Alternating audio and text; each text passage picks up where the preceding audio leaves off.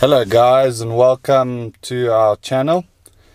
This is a introduction to our little Mitsubishi Colt that we bought. Um, we're going to convert it into a budget overlander. And yeah, welcome and come along. We hope you enjoy.